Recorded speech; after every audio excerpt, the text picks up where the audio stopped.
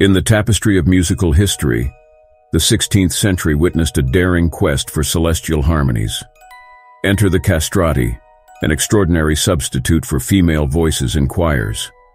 While some basked in the limelight of fame, others were shrouded in the shadows of poverty and obscurity, painting a complex picture of this fascinating tradition. The audacious idea of castrating their own sons for a shot at stardom may seem inconceivable today, Yet for Italian parents, it was a genuine consideration. The castrati, those revered male singers with ethereal high-pitched tones, were born from this controversial practice. Among the stars of this mesmerizing constellation was Farinelli. His voice said to possess the power to dispel the king's depression during his decade-long serenades at the Spanish court. However, for numerous others, a different fate awaited. A life marked by hardship, and the lingering effects of their castration, a haunting legacy etched in unusual bone growth, osteoporosis, and the shadows of depression. This is a captivating tale of the castrati, Italian singers forever bound to an extraordinary and poignant destiny, their songs echoing through the ages like the reverberating melodies of an ancient aria.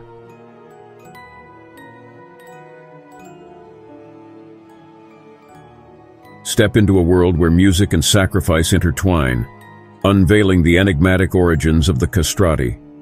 In the luminous tapestry of history, the 16th century marks the birth of this unparalleled phenomenon.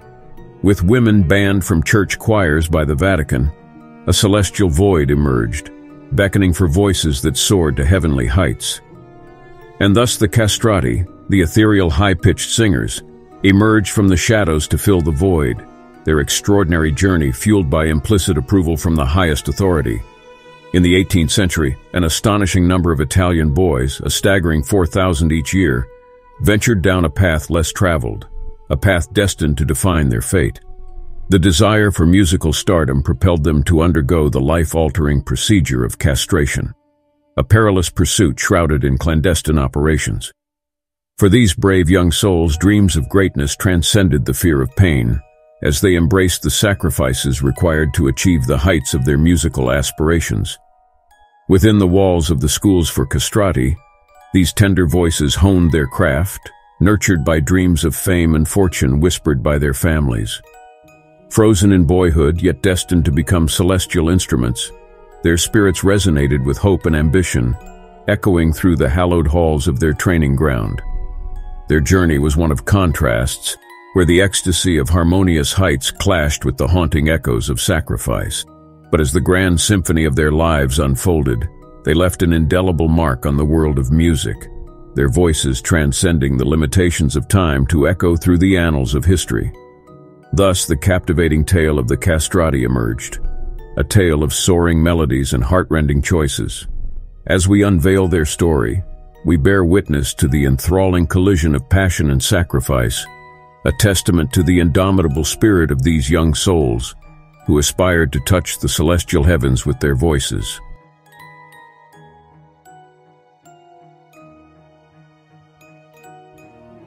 The extraordinarily popular singers who enraptured Europe with their heavenly performances.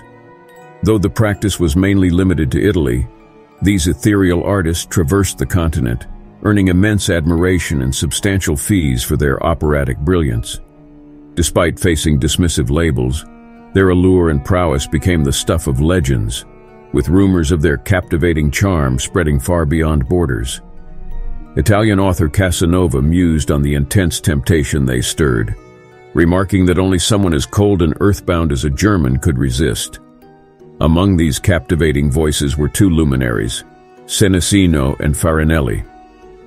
Senesino's collaboration with composer Handel made him a sought-after talent, commanding a remarkable 3,000 pounds guineas annually. As the primo uomo of Handel's Royal Academy of Music, Senesino's resonant voice resonated in 17 leading operatic roles, enchanting London's audiences. Yet even Senesino's brilliance was eclipsed by the dazzling stardom of Farinelli. Reaping 5,000 pounds per year from his captivating performances across Europe, Farinelli's talents were sought even by Queen Elisabetta Farnese of Spain, who hoped his melodies could heal her husband's depression. For an additional 1,500 guineas yearly, He graced King Philip V with private performances, possibly serving the king for a decade. Composer Johann Joachim Quantz could hardly contain his admiration for Farinelli's mastery, praising his unrivaled manner of singing, fiery allegros, and articulate, pleasing divisions that emanated from his chest. While some, like Senesino and Farinelli, basked in fame and fortune, many others remained in the shadows, never reaching such celestial heights. Nevertheless, audiences showered their castrati heroes with affectionate cheers like, Eviva il coltellino, or Long live the little knife.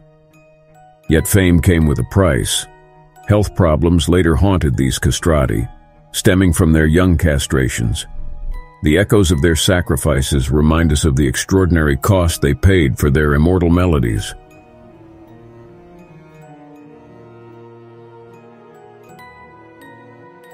Castration, once a pathway to ethereal voices, also unleashed a symphony of health challenges that resonated throughout the lives of these unique singers. Remarkably tall and elongated, Castrati's open growth plates from the lack of hormones created strikingly long bones, adding an unusual strain on their organs and raising the risk of osteoporosis later in life. Their bodies took on a fascinating transformation. Chests, jaws, and noses grew larger, a feature that lent an advantage in expanding breath capacity during their soul-stirring performances. However, the passage of time often took a toll.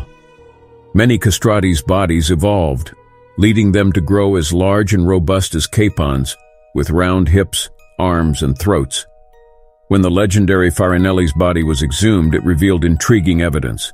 Long bones and a peculiar buildup of bones on his forehead, a condition known as hyperostosis frontalis interna. Typically found in women, this condition could be accompanied by headaches, depression, and other mental health challenges, affecting many castrati in their later years. Yet despite the physical transformations and health issues, the era of the castrati waned by the 19th century as their unique artistry gave way to the changing tides of musical preferences. Nevertheless, their legacy endures, echoing through history as a testament to the indelible mark these captivating voices left on the world of music.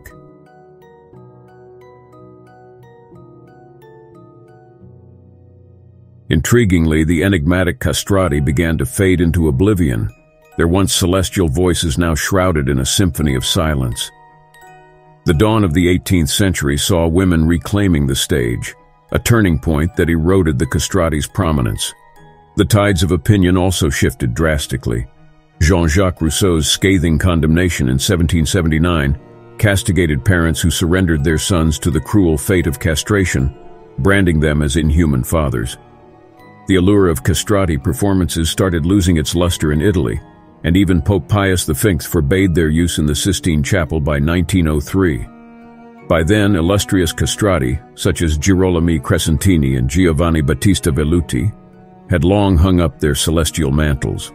However, the last of the Sistine Chapel castrati, Alessandro Moreschi held on until 1913. Revered as the Angel of Rome, his ethereal melodies echoed through time, living on through a haunting recording of his voice.